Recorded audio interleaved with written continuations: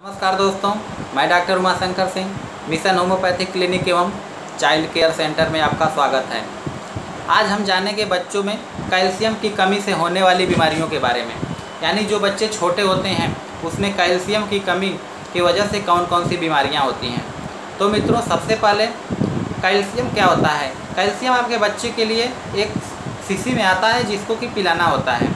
यदि आपका बच्चा लगे कि उसको बुखार रहता है। आप सर अगर टच करें, जैसे हेड अगर टच कर रहे हैं तो लगता है कि बुखार है। हाथ का तलुआ टच कर रहे हैं, लग रहा है बुखार है।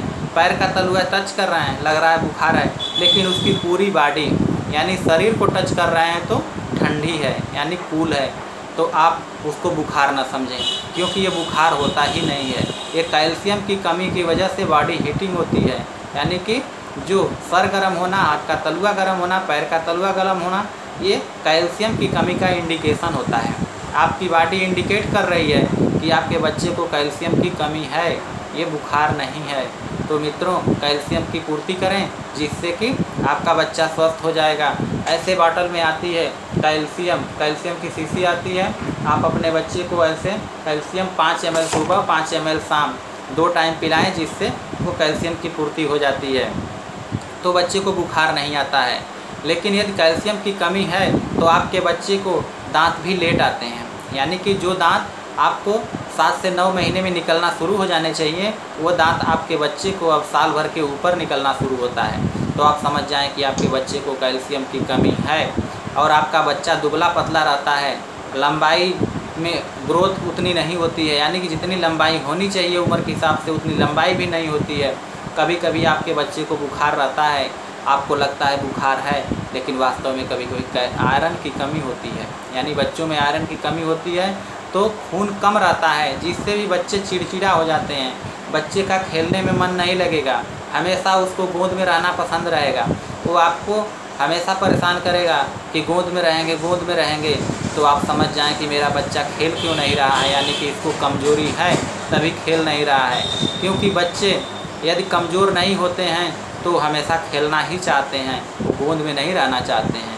तो मित्रों, मैं आपसे यही कहूँगा कि आप अपने बच्चे का केयर अवश्य करें, क्योंकि बच्चे का केयर ही सबसे अच्छा सबसे अच्छा साधन है कि आप उसको हमेशा अपने पास रखें, हमेशा देखते रहें कि खेल रहा है कि नहीं, और नहीं खेलता है तो आप अपने डॉक्टर से सलाह अवश्य लें। लेकिन किसी किसी अच्छे डॉक्टर से सलाह लें, क्योंकि आजकल चट्टी चौराहे पे ऐसे लोग बैठ गए हैं, जो कि कुछ पता नहीं है, केवल सिर्फ़ यही पता है कि ये फला दवा फला में काम करती है, लेकिन कब देना है, कब नहीं देना है, बुखार आया तो क्यों आया? नहीं, अगर कोई सिम्टम उनको मतलब कि एक डायग्नोसिस होती ही नहीं है। बुखार आया तो बुखार है, खांसी आया तो खांसी है। ये नहीं है कि किस कारण आया, कौन सी खांसी है, कौन सा बुखार है, उनको कुछ नहीं समझ में आता, बस वैसे दवा देते जाते हैं, देते जाते हैं, ठीक हो गया तो भी ठीक। नहीं ठीक हुआ तो भी ठीक, आपको आगे भेज देते हैं। लेकिन बच्चा अगर यदि आपका खेलता नहीं है, लगता है कि उसको आयरन की कमी है, यानी कि खून की कमी है तो आप उसको आँखों में देखें, बच्चा हमेशा चिड़चिड़ा भी रहता है। यानी कि आपका बच्चा खेलेगा, कूदेगा नहीं, हमेशा सुस्त रहेगा। हमेशा सुस्त रहेगा। आप उसके आँखों को देख के पता लगा सकते हैं। नीचे जैसे आँख अगर देखेंगे ऐसे तो वाइटनेस रहेगी। आप समझ जाएँ कि बच्चे को आयरन की कमी है।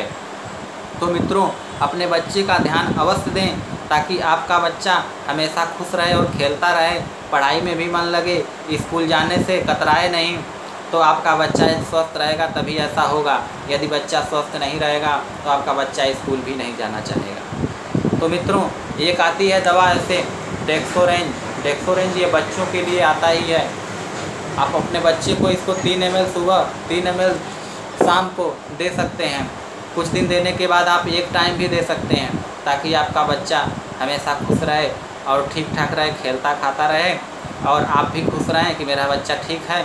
आपको ज़्यादा दवा की ज़रूरत ना पड़े आपको बच्चे के लिए और आप, जैसे आप ज़्यादा एंटीबायोटिक यूज़ करते हैं तो बच्चे को मेंटली रूप से भी कमज़ोर बना देती है। तो इसलिए आप एलोपैथिक दवा से हमेशा बचने का प्रयास करें, होम्योपैथी अपनाएँ और उसके साथ साथ आयुर्वेद भी अपना सकते हैं। आयुर्वेद और होम्योपैथ से अच्छा कुछ भी नहीं है आज की डेट में, मित्रों। और मैं आपसे बस यहीं विदा लेता हूँ।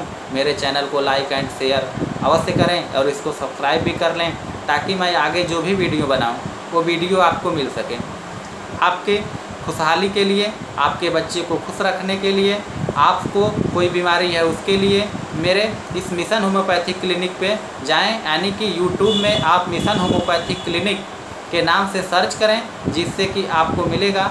और तमाम तरह की बीमारियों के बारे में मैं बताऊँगा और अपलोड करूँगा ताकि आपको बीमारी के बारे में जानकारी हो सके, उसके साथ साथ दवा भी जान सकें, आप अपने आप भी मेडिकल स्टोर से जाके ले सकते हैं। तो मित्रों, जय हिंद, नमस्कार, धन्यवाद।